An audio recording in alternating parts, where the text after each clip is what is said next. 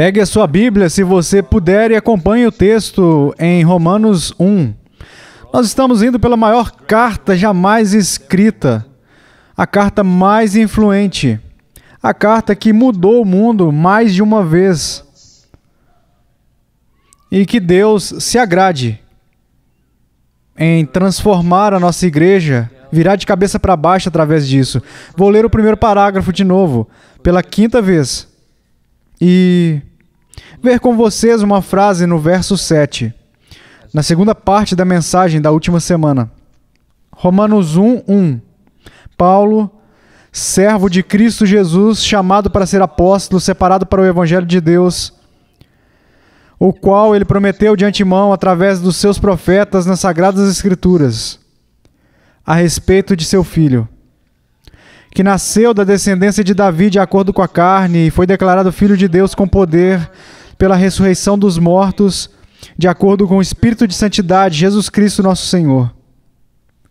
Através de quem nós recebemos graça e apostolado para trazer a obediência da fé entre todos os gentios, pelo amor de seu nome. Entre os quais vocês também são chamados por Jesus Cristo. A todos que são amados de Deus em Roma chamados santos. Graça e paz a vós, de Deus nosso Pai e do nosso Senhor Jesus Cristo. Pai, eu peço por a sua ajuda agora para desdobrar a pequena frase amados de Deus, que iremos focar nessa manhã.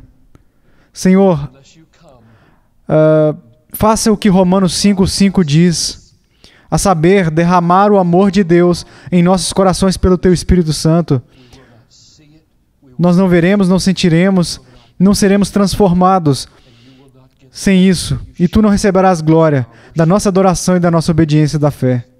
Então, que o Senhor venha, ó Santo Espírito, e através da verdade, derrame o amor de Deus em nossos corações nessa manhã. Em nome de Jesus, eu peço. Amém. Na última semana focamos na frase do verso 6 os chamados de Jesus Cristo. Eu disse algumas coisas, vou resumir. Vou tentar que fiquemos na mesma página aqui. Eu disse que é Deus quem chama para trazer pessoas em comunhão com Ele, com Jesus Cristo. E disse e argumentei com textos que não é apenas um convite para vir, mas é uma poderosa, divina e sobrenatural palavra com a qual Deus faz o que ele comanda.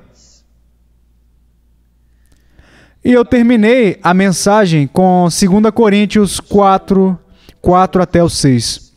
E acho que seria bom se fôssemos até lá, nas nossas Bíblias. Vamos abrir são apenas dois livros, depois 1 Coríntios, 2 Coríntios. Se você está em Romanos, você pode achar 2 Coríntios. Capítulo 4, versos 4 até o 6. Estes versos são para mim um dos mais importantes para entender a natureza da conversão e quem eu sou e como eu me tornei um cristão. De todos os versos da Bíblia, esses estão no topo para me ajudar a compreender quem eu sou e como cheguei até aqui como cristão. E eu quero que vocês saibam quem vocês são e como vocês chegaram até aqui. E eu quero que Deus receba a glória disso. Portanto, eu quero que vocês enxerguem como Deus realizou isso. Esses versos são a descrição, eu creio, no chamado de Deus para o seu povo. No verso 4 de 2 Coríntios 4, você encontra a razão de tão poucas pessoas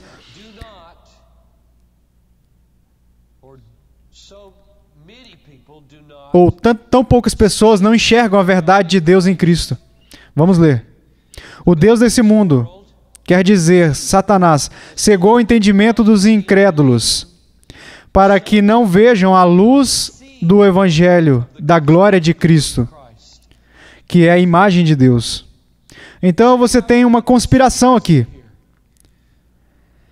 Descrença humana um tanto corrupta de um lado conspira com o diabo do outro lado para cegar completamente o coração humano de enxergar a glória de Cristo no Evangelho. E se você não enxerga a glória de Cristo no Evangelho, você não irá crer em Cristo. Nós colocamos a nossa fé no que acreditamos ser verdade, e belo, e confiável e glorioso. Nós não colocamos a nossa fé no que acreditamos, num tanto de bobagem, estupidez e coisas esquisitas e irrelevantes, como uma pedra de tropeço. Então, enquanto as pessoas estão cegas para a glória, elas nunca irão crer. O que nos conduz ao final do verso 4, de uma maneira desesperadora. Quem então será salvo? E os próximos dois versos descrevem duas coisas, dois tipos de ministérios que têm que acontecer para que qualquer pessoa se converta a Cristo e seja salva. Verso 5 diz: Nós pregamos Cristo Jesus como Senhor e a nós mesmos como seus servos, pelo amor do nome de Jesus. Essa é a primeira coisa que tem que acontecer. Tem que haver uma palavra falada e uma vida vivida. Incrédulos têm que ouvir o Evangelho uh, através de um pregador, de um pedaço de papel ou no rádio. E eles têm que enxergar uma realidade da vida como servo que Cristo produz no coração. Então nós pregamos e nos damos como servos por amor a vocês. No entanto, o apóstolo Paulo está ciente, você está ciente.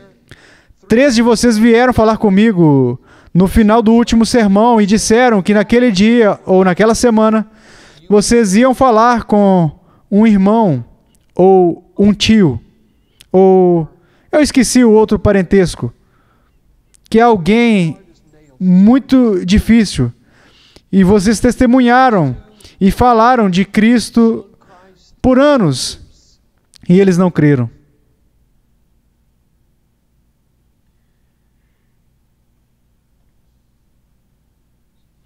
Então, verso 6 é a palavra de esperança. Nessa situação desesperada que nós conhecemos, sabemos sobre nós alguns de nós, e sabemos sobre outros. Verso 6 em 2 Coríntios 4 diz: Porque Deus que disse que das trevas brilhasse a luz. Isso é uma referência a Gênesis 1. Quando Deus falou sobre a ausência de luz. A ausência de luz. Haja luz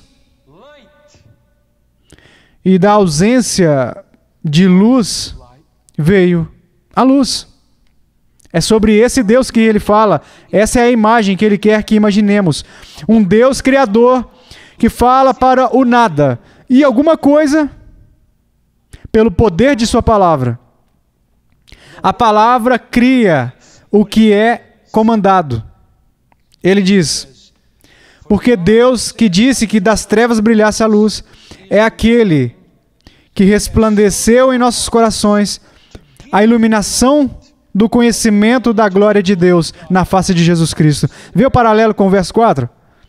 No verso 4 ele diz que o Deus desse mundo nos cega, para que não enxergamos a luz da glória na face de Cristo, a imagem de Deus. Mas agora ele diz: Mas Deus pode vencer essa cegueira, pode vencer essa resistência, pode vencer a incredulidade. E ele pode amolecer aquele coração, ele pode levantar os mortos. Se ele simplesmente dizer: faça-se ou haja luz, a luz do conhecimento da glória de Deus na face de Cristo. Haja, e de repente, o Evangelho e o Deus do Evangelho não é mais estúpido, não é mais irrelevante não é mais uma pedra de tropeço, não é mais uma estupidez, não é mais uma bobagem espiritual. Se torna agora vida, beleza, poder, sabedoria, esperança, preciosidade, gloriosidade, alegria, tudo o que eu procurava e precisava, agora eu enxergo.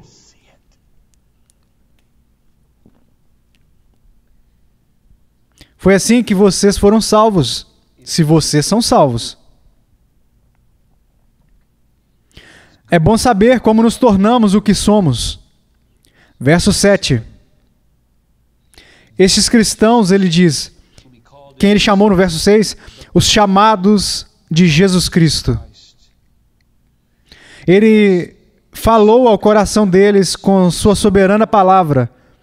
Ele os acordou do sono da incredulidade. Ele venceu a cegueira do diabo. Ele removeu a dureza de coração, ele levantou os que estavam espiritualmente mortos, como ele fez com Lázaro. Quantas palavras ele levou para tirar Lázaro da tumba? Três. Lázaro, saia daí. E o morto de quatro dias reviveu. E a única coisa que o fez viver foi: Lázaro, saia daí. Essa é a palavra de Deus. Isso não é John Piper. Isso é a palavra de Deus. Eu posso fazer um chamado à conversão, mas somente Deus pode fazer um convertido ser chamado. E ele fez para esses cristãos romanos e para todo cristão neste lugar. Ele fez por vocês. É assim que vocês chegaram onde vocês estão. Vocês sabendo disso ou não, foi assim que vocês se converteram. Lázaro Saia daí. Nós somos chamados, os chamados de Jesus Cristo. Nós vivemos, diz aqui, entre os gentios. Mas nós pertencemos através do chamado soberano a Jesus. Nós não pertencemos a Jesus como pertencemos ao Partido Democrata, ou ao Partido Republicano, ou ao sindicato, ou ao Clube de Minneapolis. Nós pertencemos a Jesus pela virtude de uma soberana e onipotente Criadora Palavra de Deus que trouxe à luz aquilo que chamou. Então, pertencer a Jesus não é como pertencer a nada mais. Está enraizado no chamado do Deus Todo-Poderoso. O que eu quero fazer nesta manhã, no restante deste texto e desse sermão, é aprofundar dar ênfase, que Deus permita a sua experiência do chamado de Deus, te mostrando que isso veio do amor de Deus por você particularmente. E este chamado de Deus te garante no reino do amor de Deus que é diferente de qualquer outra experiência daqueles que não receberam o amor de Deus. É isso que eu quero que vocês experimentem. Vamos ler o verso 7 aqui. A todos os que são amados de Deus. Estamos em Romanos 1 agora, não em 2 Coríntios 4. Romanos 1, 7. A todos os que são amados de Deus em Roma, chamados santos, graça a vós e paz de Deus, nosso Pai e do Senhor Jesus Cristo. A todos os que são chamados e todos os que são amados de Deus, todos os cristãos, conheça a si mesmo dessa maneira. Nesta manhã, conheça a si mesmo dessa maneira, que você é um chamado de Jesus Cristo e amado de Deus. Você se reconhece? Você diz: eu sou um amado de Deus, eu sou amado dele. Ele é meu. Isto é Deus falando a respeito de você. Meu amado.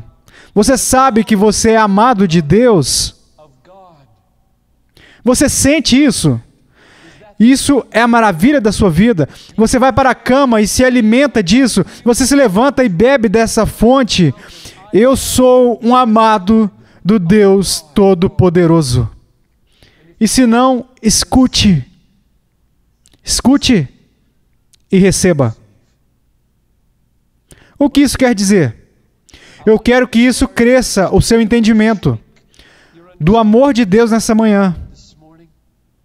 Mas me parece que para muitas pessoas a única maneira em que eles pensaram ou meditaram sobre o amor de Deus por eles é da mesma maneira que eles pensam sobre o amor de Deus por todo mundo no mundo.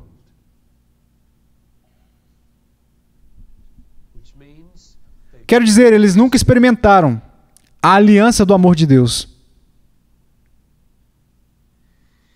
Se você apenas conhece ser amado como todo mundo é amado, você não conhece a aliança do amor de Deus. E esse é o amor em que podemos nos alimentar esse amor nós podemos beber dele. Esse é o amor que é a nossa força, a nossa esperança, é a nossa sólida segurança que vamos para a glória e não para o inferno. Me parece que na América, na grande maioria dos círculos cristãos, católicos, protestantes e evangélicos, O amor de Deus é algo leve. Descansa levemente sobre a igreja. Porque nós aprendemos apenas pensando que é oferecido a todos ou todas as pessoas do mundo. Deixe ver, eu sou amado de Deus. Bem, a Bíblia diz que ele ama todo mundo. Eu sou todo mundo. Então acho que ele me ama. e se isso é tudo que você conhece do amor de Deus, você vai passar fome. E talvez até não será um cristão. Agora, é verdade que Deus ama o mundo. Vou mostrar dois textos para provar isso. Antes uh, de mostrar a coisa mais importante do mundo para os cristãos. Mateus 5,44. Ame os seus inimigos. Cristãos, ame os seus inimigos, para que vocês possam ser filhos de seu Pai que está nos céus, pois ele faz o sol brilhar sobre os maus e os bons, e envia chuvas sobre os justos e sobre os ímpios. Ame os seus inimigos, porque Deus ama os seus inimigos. A evidência é que o sol nasceu em Minneapolis esta manhã. Não importa se está nublado. O sol nasceu em Minneapolis esta manhã. Sobre centenas de milhares de pessoas que ignoram a Deus. Isto é amor. Eu digo a vocês: isso é amor. Um tornado deveria vir e arrancar essa cidade. Terremotos poderiam e deveriam vir e engolir casa após casa, após casa, após casa, como julgamento. Isso é o que deveria acontecer em Minneapolis nesta manhã. Doenças deveriam andar soltas em Minneapolis nesta manhã, levando milhares de pessoas a uma eternidade sem Cristo, por sua rebeldia contra o Evangelho e contra Jesus. E indiferença contra a doce misericórdia de Deus, operando diariamente sobre eles como o sol. E eles não se importam nem um pouco. Deus ama essa cidade. Ela está respirando. Outro texto que prova que Deus ama o mundo é João 3,16. Porque Deus amou o mundo de tal maneira que deu seu único filho, para que todo aquele que nele crê não pereça, mas tenha vida eterna. O que significa, um tanto claramente, que você pode abordar qualquer pessoa no trabalho, nas ruas ou no seu bairro e dizer: Deus te ama tanto que ele enviou o seu filho para morrer por pecadores. E se qualquer um incluindo você, crer, terá a vida eterna. Se você crer, o Filho de Deus vai conceder vida a você através da, da sua morte, para todo aquele que crê.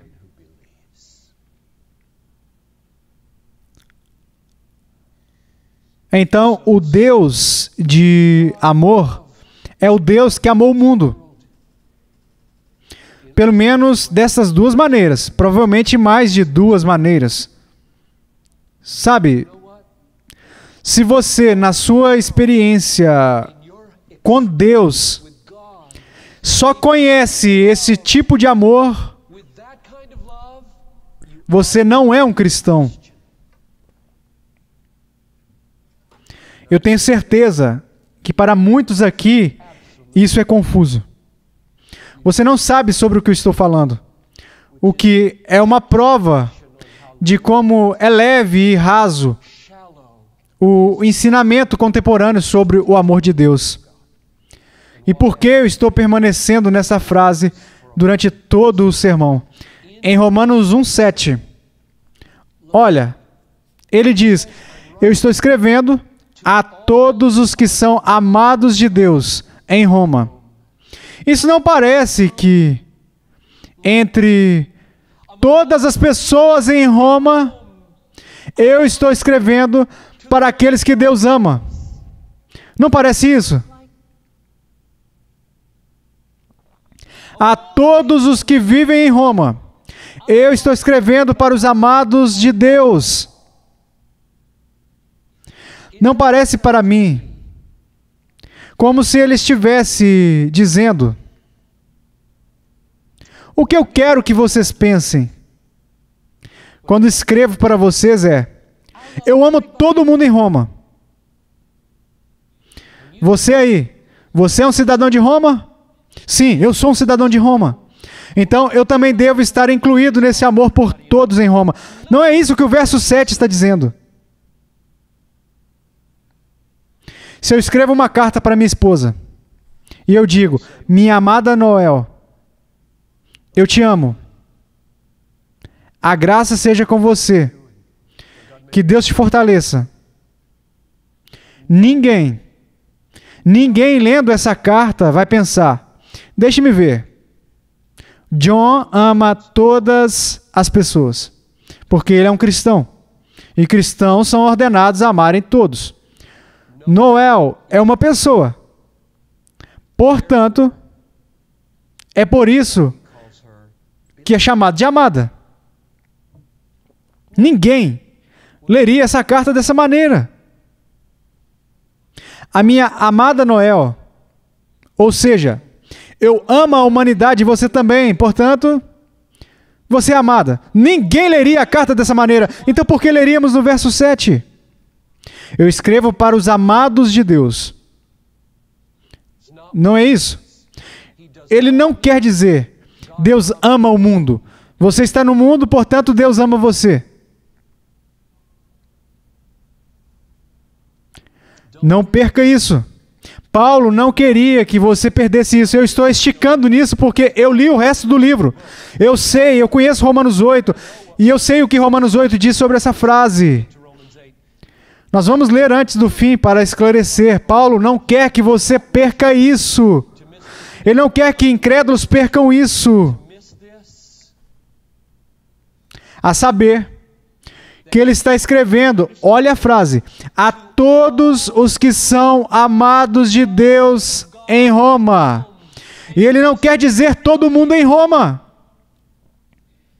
Ele quer dizer os amados de Deus, todos os amados de Deus em Roma. Isso não inclui todo mundo em Roma. Ele escreve para os chamados de Deus, os chamados de Jesus Cristo, que são amados de Deus. Nem todo mundo em Roma é chamado de Jesus Cristo. Ele escreve para a igreja. Ele escreve para a sua noiva, a sua esposa. Deus está. Deus está. Este amor é diferente do amor de João 3,16. Este amor é diferente de Mateus 5,44. Este é o amor da aliança. Eu escolhi Noel para ser a minha esposa. E eu fiz uma aliança com ela em dezembro de 20, dia 21 de dezembro de 1968. E eu selei aquela aliança com um juramento sagrado e santo em frente ao Deus Todo-Poderoso. E pela graça eu nunca irei quebrar essa aliança. E Deus selou essa aliança nos céus. O que Deus juntou, o que Deus juntou, nenhum homem separe. E ela é minha, e eu sou dela, e o amor que eu tenho por ela é absolutamente sem precedentes, mesmo que existam várias outras pessoas que eu morreria por elas.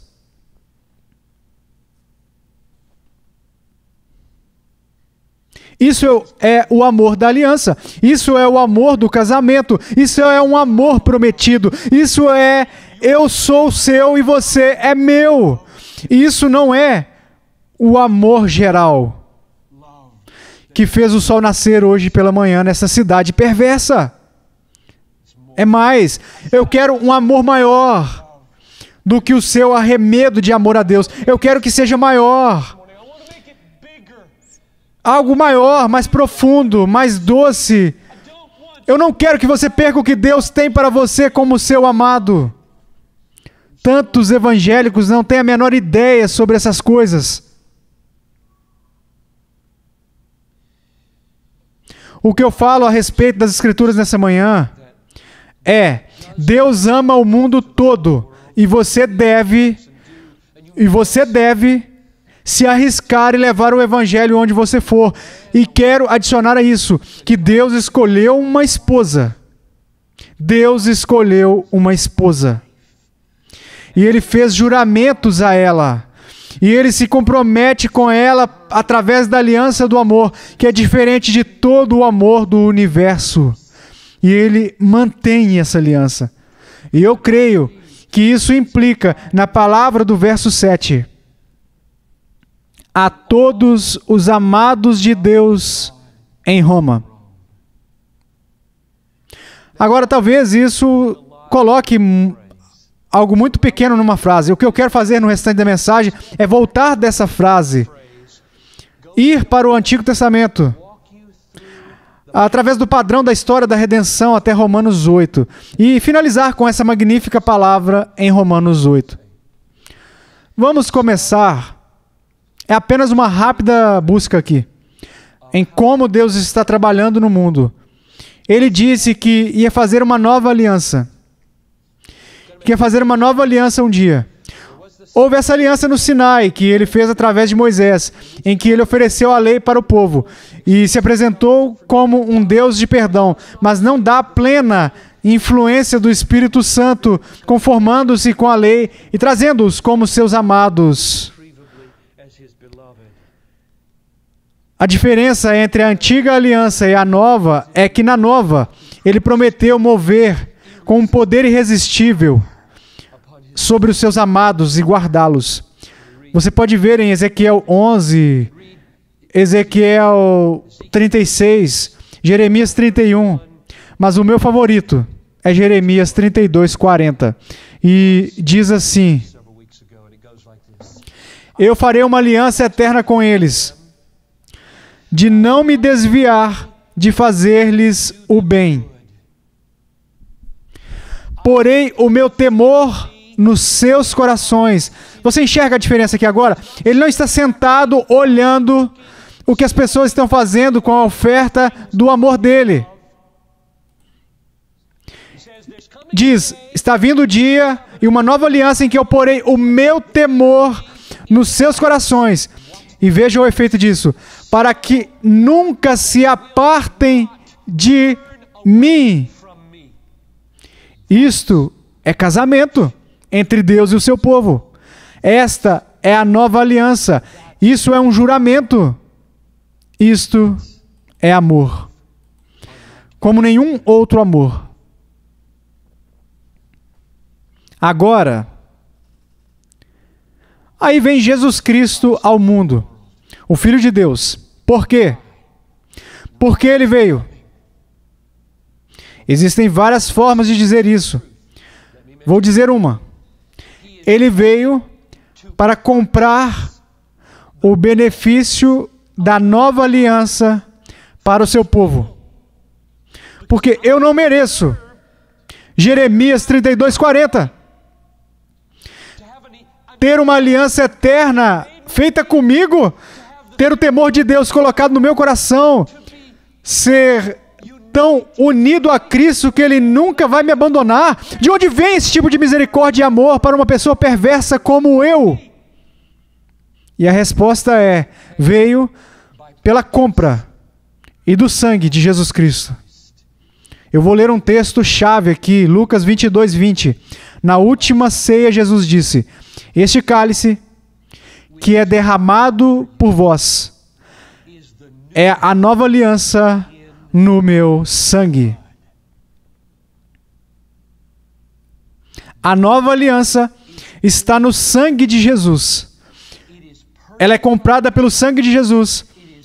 É mantida, obtida e mantida e firmada pelo sangue de Jesus. E a única garantia que eu tenho para crer que Jeremias 32, 40 é meu, é que eu confio no sangue de Jesus como a minha única esperança. Foi comprado para mim pelo sangue de Jesus. Saber que você é amado dessa maneira é a sua comida, a sua bebida e o seu mel na sua vida.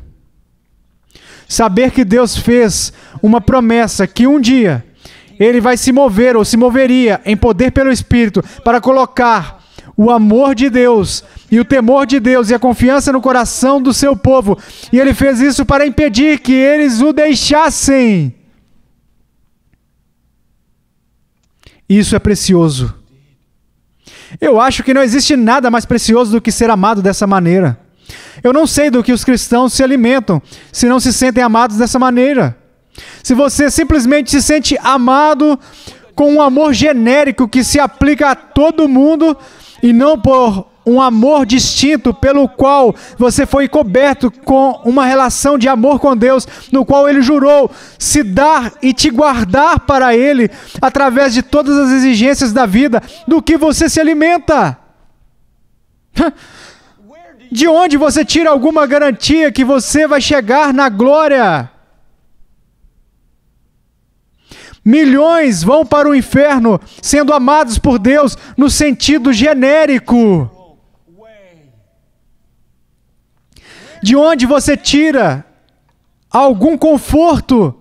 Se você não conhece o amor da aliança de Deus, distintamente sendo favorável a você, fazendo você ser dele, como o seu espírito em você, e te, e te selando para o dia da redenção, inquebrável por causa do sangue de Jesus.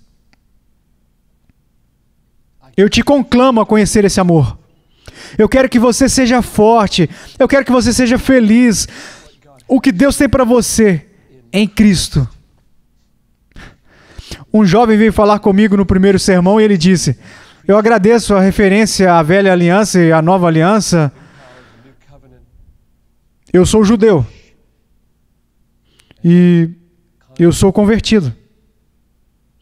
E você sabe que foi o judeu que me levou a Cristo. Ele é bem famoso, ele disse.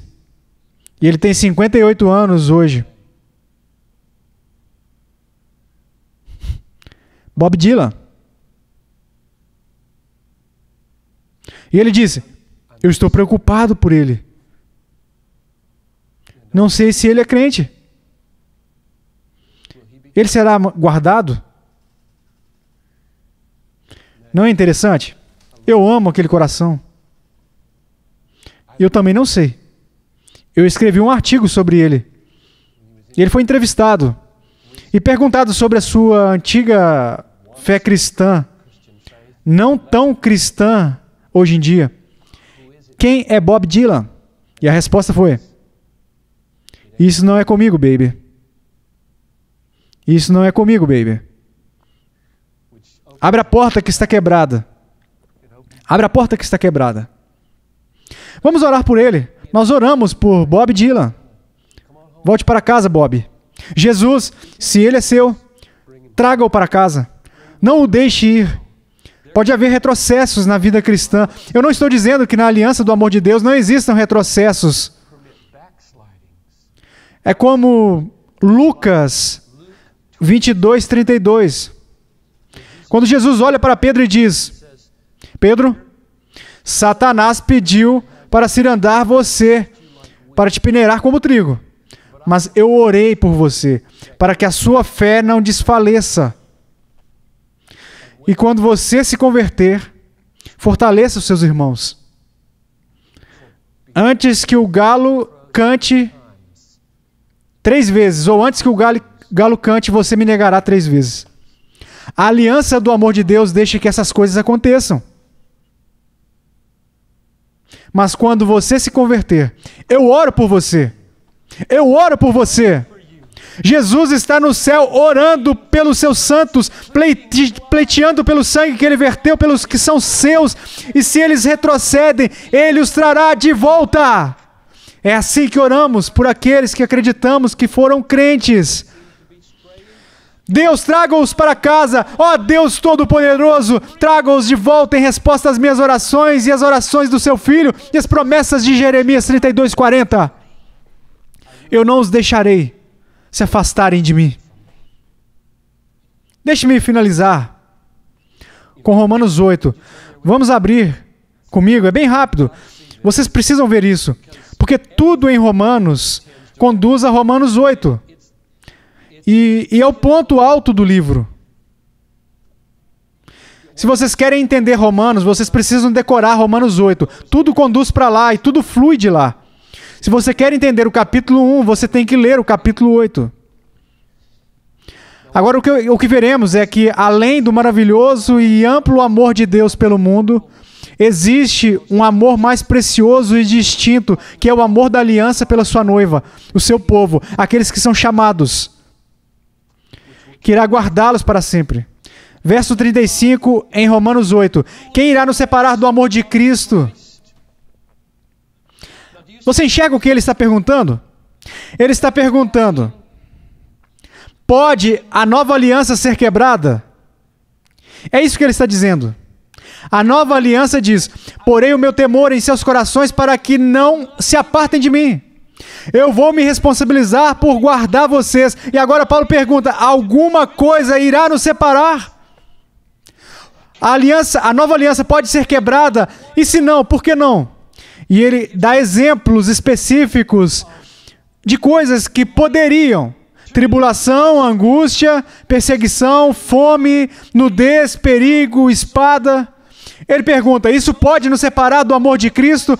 Isso vai colocar em risco a nova aliança? Isso fará Jeremias 32, 40 não se concretizar? E a resposta, agora no verso 37, é, é tão exuberante. Ele, ele deixa fora a palavra não. Mas na verdade está lá: Não, não. Elas não irão nos separar. Ele pula o não e coloca: Mais que vencedores em todas essas coisas em tribulação, em angústia, perseguição, fome, nudez, perigo, espada, qualquer problema na sua vida que ameace te afastar do amor de Deus e te fazer incrédulo e começar a te conduzir para a dúvida. Deus vai conquistar soberanamente. Como? Na próxima frase. Por meio daquele que nos amou. Veja, cristão, você tem que conhecer esse amor. Você tem que conhecer esse amor. Isso é mais precioso que palavras. O que vai evitar que você seja separado do amor de Cristo? Resposta: o amor de Deus. Quem nos separará do amor de Cristo? Todas essas coisas? Não! Nós somos mais que vencedores por meio daquele que nos amou. Nós não seremos separados do amor de Cristo por causa da mantenedora aliança do amor de Deus. Você conhece esse amor? Você estima esse amor? Você vai para a cama e diz: Eu não posso crer, ó Deus, que o Senhor me escolheu, que o Senhor colocou fé no meu coração, que o Senhor fez ano após ano eu voltar para ti, confessar os meus pecados e crer de novo e de novo. Eu não. Eu não sei como você tem qualquer segurança se esse amor mantenedor da aliança não é precioso para você. Olhe para as pessoas nessa igreja que estão deixando seus cônjuges e abandonando a fé. Você olha para elas e diz: Eu nunca faria isso. Eu tenho vontade própria. Eu sempre uso a minha própria vontade para ficar. A minha vontade é invencível. Oh! De onde você tira qualquer segurança que você não fará isso? De dizer, eu estou farto desse casamento, eu estou farto desse emprego, eu estou farto dessa igreja, eu estou farto dos hipócritas, eu estou farto de Jesus, então eu vou embora daqui, eu vou beber, eu vou comer, eu vou me casar, eu não me importo se existe inferno. Você pode acordar amanhã se sentindo assim. A parte do amor de Deus mantendo você. É a única razão de, de você não acordar assim. A minha única esperança está em Jeremias 32, 40. Comprado pelo sangue de Jesus. Por mim, essa é a minha única esperança. Eu colocarei o meu temor nos seus corações. Eu colocarei o meu temor nos seus corações e não os deixarei se apartarem de mim. E é claro, o último verso do capítulo fala isso. Eu estou convencido que nem a morte, nem a vida, nem os anjos, nem principados, nem coisas presentes ou futuras, nem poderes, nem alturas, nem profundidades, nem qualquer outra coisa na criação será capaz de nos separar do amor de Deus que está em Cristo Jesus, nosso Senhor. A palavra dita nesta manhã é: de Deus, vinda da minha boca, agora, eu te escolhi, eu te chamei eu te justifiquei através da fé que eu te dei. Eu habitei em você pelo meu Santo Espírito, eu te santifiquei, eu trabalhei em você para que você se agradasse de mim, e eu te trarei para a glória. Eu amo você. Eu amo você. É dessa maneira que eu amo você. Se você não é um crente aqui agora, uma ou duas questões para você. Apenas preste atenção. Conecte isso. Por que você está aqui? Como você chegou aqui? Não é maravilhoso? Não é maravilhoso que você está aqui e você ouviu essa mensagem estranha sobre o amor de Deus? Que você não ouvia, fazendo o que você costumava fazer nesta manhã. E agora você ouviu. Isso é maravilhoso. Isso é Deus. Então a minha segunda pergunta é: Não é Deus agora mesmo abrindo o seu coração para enxergar a glória de Cristo no Evangelho? Não é isso? Para que você enxergue o Filho de Deus deixando os céus em glória, tomando forma humana, sofrendo e morrendo por pecadores ímpios, rebeldes como nós. Pronto. Para ser aceito por todo aquele que crê. E se assim for, renda-se. Eu te amo em nome de Cristo. Em nome de Deus se renda a esse vislumbre de luz no seu coração. E agora, Ele que é capaz de não te abandonar e deixar cair. Isso não é precioso? Agora, Ele que é capaz de não te deixar cair e de te apresentar sem defeito diante do trono da Sua glória em júbilo, ao único Deus, o nosso Salvador através de Jesus Cristo nosso Senhor, seja a glória e majestade e autoridade e domínio sobre todo o tempo e para sempre. E todos os amados de Deus dizem: Amém. Fim da mensagem.